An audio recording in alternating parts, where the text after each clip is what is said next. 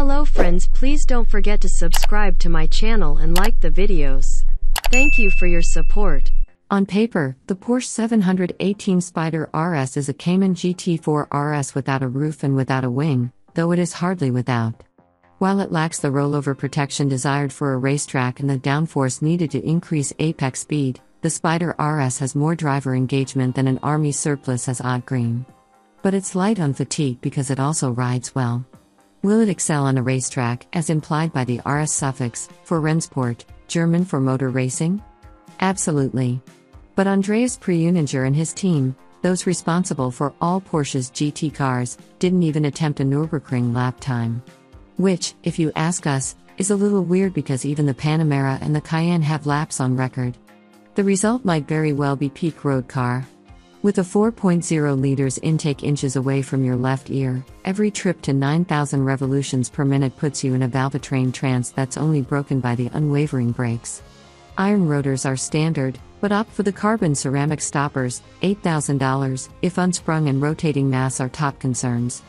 The ceramic rotors save about 40 pounds, and once you're there, you might as well go for the magnesium wheels, $15,640, that shave another 22 pounds. But to get the wheels, you also have to check the box for the Weissach package, $14,730 with the required interior upgrades. The Weissach package is mainly an appearance kit consisting of exposed carbon fiber components that are otherwise painted, a faux suede dash, and a tiny carbon lip on the duck like spoiler. Tacking nearly $40,000 onto a $163,650 Boxster that isn't supposed to see track duty seems excessive unless you have a fetish for exposed carbon fiber. But we don't judge. To make this Spyder RS extra harmonious with public roads, the GT team did something it has never done with an RS car reduce spring rates. Compared to the GT4 RS, they're down by 55% in front and 43% in the rear.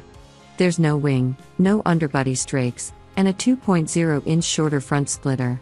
The Spyder RS also rides 0.2 inch higher. But the engine is the same 493 horsepower 4.0 liter with individual throttle bodies, that's one per cylinder, and dry sump lubrication. A 7 speed dual clutch is the sole transmission.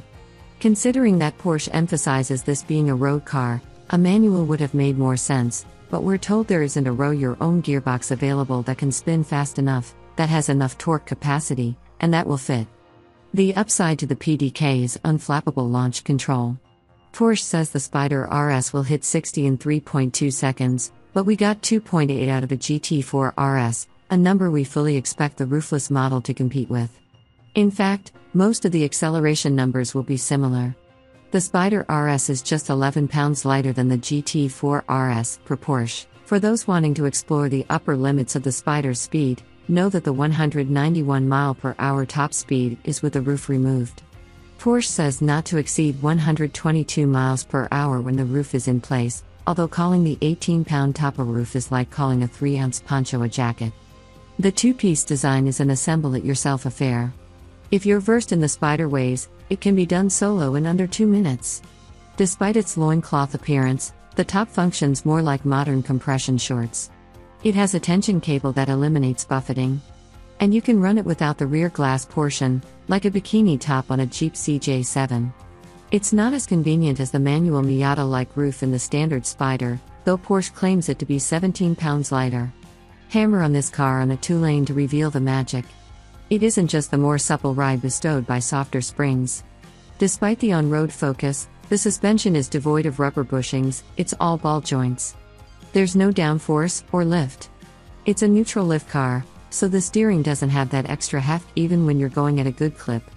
When the Michelin Pilot Sport Cup 2s load up in corners, it's as if each unit of mechanical grip, the standard unit for this is bibendums, or it should be, comes through the wheel, so much so that you can tell if the road stripers used Benjamin Moore or Sherwin Williams. Every car enthusiast should experience a modern Porsche GT car, we gush over them for good reason. Porsche says this is the last new 718 model with an internal combustion engine, and we predict these GT cars will go down in history as the high point before electrification drains fun from the fleet. And with its on road focus, the Spyder RS further distinguishes itself in a field of RS track day specials.